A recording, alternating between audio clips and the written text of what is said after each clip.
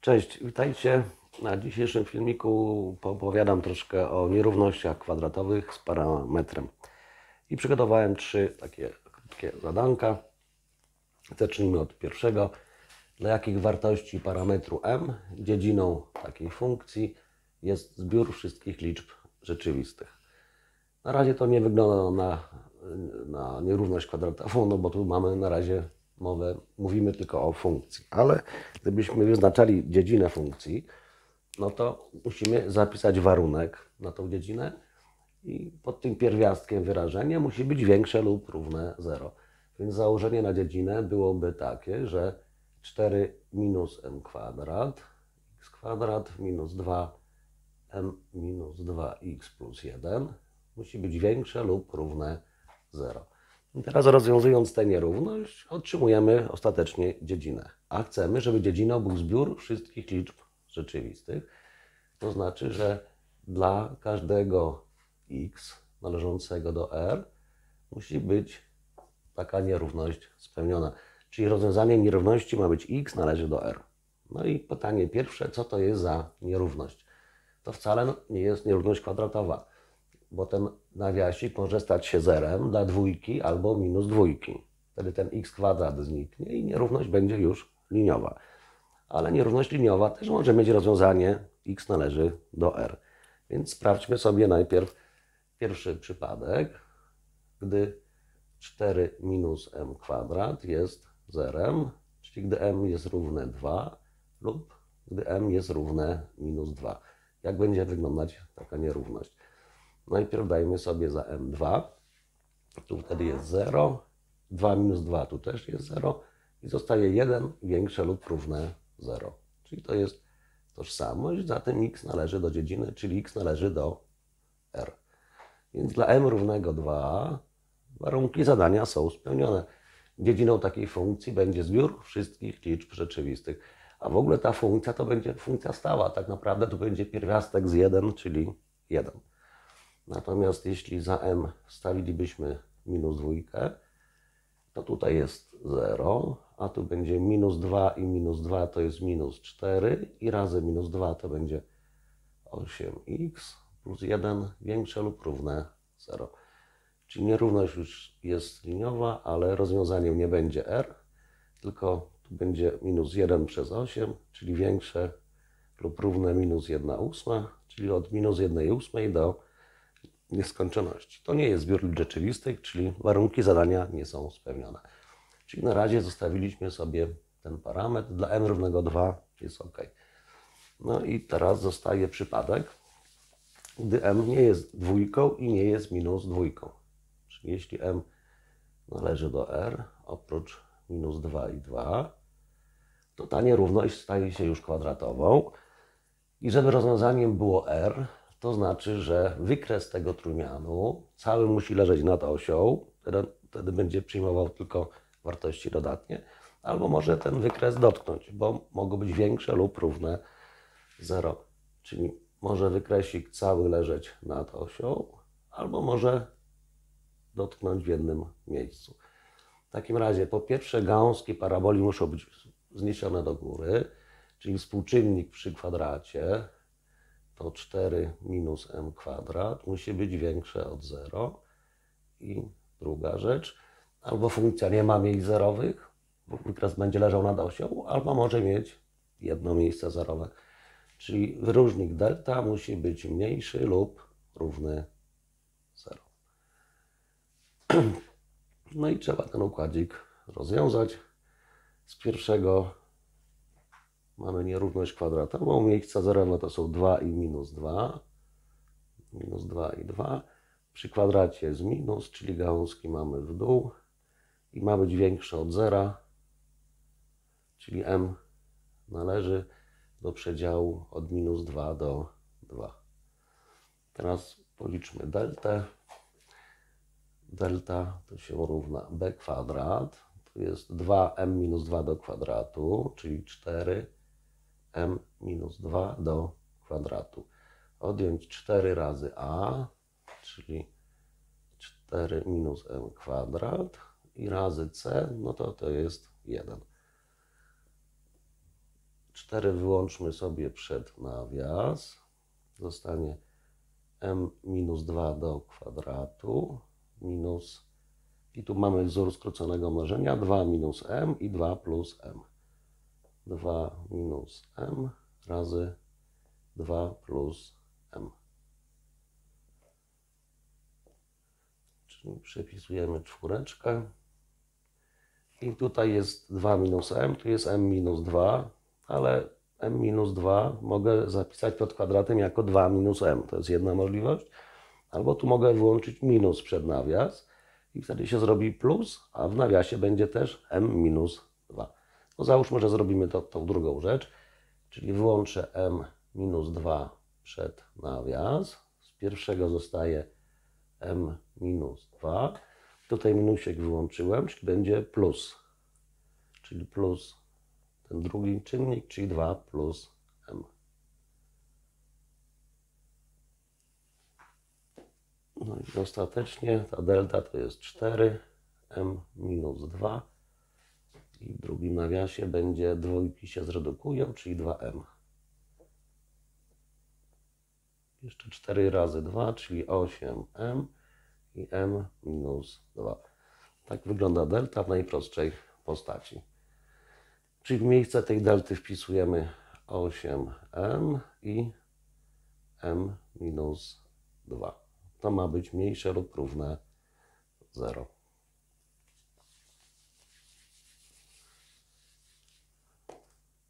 Gdybym tu namalował parabolkę do tego wykresu, no to mamy miejsca zerowe 0 i dwójeczkę.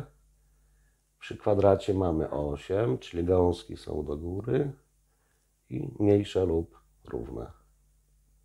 Czyli byłoby od 0 do 2. Czyli m należy od 0 do 2. Z pierwszego było m należy od minus 2 do 2. Więc ostatecznie będzie od 0 do 2. Tylko w zerze mamy zamknięte i 2 mamy otwarte.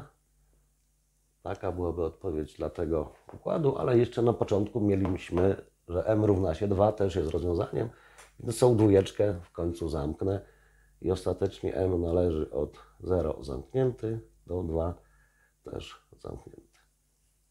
I takie jest rozwiązanie tego zadanka. Dobrze. Drugie zadanko na dzisiaj. Dla jakich wartości parametru m nierówność taka jest spełniona przez każdą liczbę z przedziału od 1 do 3. Dla jakich m taka nierówność jest spełniona przez każdą liczbę z takiego przedziału. No i pierwsze pytanie, cóż to jest za nierówność?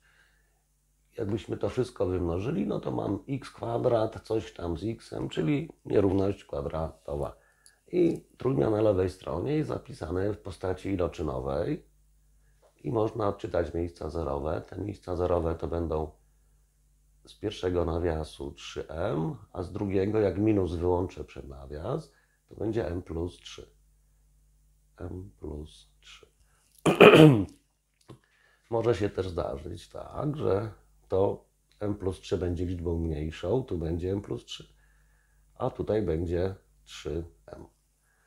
Ale na pewno to są miejsca zerowe. Przy kwadracie mamy dokładnie 1, czyli parabolka ma gałązki skierowane w górę. No i ma być mniejsze od 0, czyli rozwiązaniem takiej nierówności zawsze będzie przedział x należy od czwarty przedział od 3m do m plus 3, albo może być, że x należy do przedziału od m plus 3 do 3m. I żeby taki, taka nierówność była spełniona przez każdą liczbę z tego przedziału, no to to 3m, jakbyśmy sobie zaznaczyli jeszcze na ośce, raz, przedział mamy od 3m do m plus 3. I każda liczba ma spełniać tę nierówność, więc ta jedynka, trójka o taki przedział musi być zawarty w tym przedziale. W takim razie początek tego przedziału 3m musi być od jedynki mniejszy i koniec przedziału, czyli m plus 3 musi być od trójki większy. Od trójki większy. Tak by było, gdyby była taka, takie rozwiązanie. A w drugim przypadku to m plus 3, czyli to z lewej strony musi być mniejsze od 1. m plus 3 mniejsze od 1. Natomiast koniec przedziału 3m musi być większy jak 3. I z tego mam m mniejsze od 1 trzeciej, z drugiego m większe od 0. A w drugim układzie mamy m mniejsze od minus 2 i m większe od 0. mniejsze od minus 2 i większe od 0. No tak nie będzie, to jest sprzeczne. Natomiast tutaj mamy większe od 0, ale mniejsze od 1 trzeciej. Czyli m należy do przedziału od 0 do 1 trzeciej i to jest rozwiązanie tego zadania. I ostatnie zadanko na dzisiaj. Dla jakich wartości parametru m suma kwadratów rozwiązań równania jest najmniejsza? Najważniejsze słowo tutaj, wyraz w tym, tej treści zadania to jest najmniejsza. Jeśli mamy tego typu zadanie, że coś ma być największe, największe, to są zadania optymalizacyjne. Je się rozwiązuje według takiego schematu, który będziecie mieć utrwalony przy pochodnych później, ale zaczyna się zawsze przy funkcji kwadratowej. Żeby coś było najmniejsze, największe, to musimy ułożyć wzór najpierw na to, co ma być największe i najmniejsze. Co tu ma być największe? Suma kwadratów rozwiązań równania. No to wpisujemy, że x1 kwadrat plus x2 kwadrat, suma kwadratów to ma być najmniejsze. Najmniejsze. Potem ten wzór, który zapisałem, musimy wyrazić tylko jedną zmienną i doprowadzić do postaci funkcji kwadratowej. No to przekształćmy troszkę ten wzorek. x1 kwadrat plus x2 kwadrat. To jest x1 plus x2 do kwadratu minus 2x1 razy x2. Zgodnie ze wzorem skróconego mnożenia. Tu mamy kwadrat plus kwadrat plus podwojony iloczyn, ale ten iloczyn zaraz szybciutko odejmuje. Czyli to dalej jest suma tych kwadratów. Ale mamy też wzorowiety. x1 plus x2 to jest minus b przez a, czyli to jest minus m przez 1, czyli minus m. Odjąć 2, a iloczyn x1, x2 to jest c przez a, czyli m minus 2 przez 1, czyli m minus 2. Czyli ostatecznie to jest m kwadrat minus 2m i plus 4. Czyli powstała funkcja kwadratowa f od m, to się równa m kwadrat minus 2m plus 4. Czyli suma kwadratów tych rozwiązań tego równania jest taką funkcją. W zależności od parametru m to się będzie zmieniać, ale co to jest za funkcja? Funkcja kwadratowa, parabolka ma gałązki w górę, czyli osiągać będzie wartość najmniejszą. Ta funkcja będzie malała, malała, osiągnie wartość najmniejszą dla argumentu p, a potem będzie znowu już rosła. I o to właśnie chodziło, żeby ta wartość najmniejsza była. Czyli jeszcze raz, napisałem wzór na to, co ma być najmniejsze, potem wyraziłem ten wzór jedną zmienną i ten wzór miał być w postaci funkcji kwadratowej. Mam coś takiego. Kolejny punkt to trzeba wyznaczyć jeszcze dziedzinę tej funkcji co będzie dziedziną tej funkcji. Pierwsze, żeby mówić o sumie kwadratów rozwiązań, najpierw muszą te rozwiązania w ogóle być. Czyli delta nie może być ujemna, czyli delta musi być większa lub równa 0. Delta z tego trójmianu, który jest tutaj na lewej stronie tego wyjściowego równania.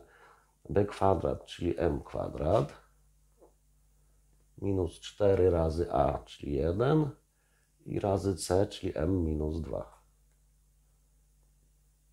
to jest m ta delta ma być większa lub równa 0, czyli m kwadrat minus 4m plus 8 ma być większe lub równe 0. I teraz delta z tej delty, że tak powiem, to jest 16 minus 32. Ona jest ujemna, czyli gałązki są w górę tutaj też. Cały wykres leży nad osią, więc zawsze przyjmuje wartości dodatnie. W takim razie dziedzina tej utworzonej funkcji to jest zbiór wszystkich liczb rzeczywistych. I to była trzecia rzecz. Wzór, wzór wyrazić jedną zmienną, wyznaczyć dziedzinę. Na końcu, kiedy ta funkcja osiąga wartość najmniejszą dla argumentu p. p, czyli minus b przez 2a. Minus b to jest 2 przez 2a to jest 2. Minus b przez 2a, czyli 1. Więc pytanie było, dla jakich m suma kwadratów rozwiązań takiego równania będzie najmniejsza? Dla m równego 1. O takich optymalizacyjnych zadankach będę jeszcze mówił przy okazji pochodnych, granic, ale ten schemat będzie taki sam, on będzie poszerzony troszkę o granicę tylko. Więc przypomnijmy jeszcze raz. Wzór na wartość ekstremalną to było to, wyrazić ten wzór jedną zmienną i doprowadzić do funkcji kwadratowej. To było to. Trzeci punkt to jest wyznaczyć dziedzinę tej funkcji, wracając do tych początkowych literek, czyli do tego trójmianu. Tutaj wyszło, że delta musi być większa lub równa 0. I ostatni punkt zawsze liczymy z tego trójmianu p, bo dla p funkcja osiąga albo wartość największą, albo najmniejszą. Tutaj chodziło akurat o najmniejszą. No to dzięki za uwagę na dzisiaj. Do miłego zobaczenia. Bywajcie.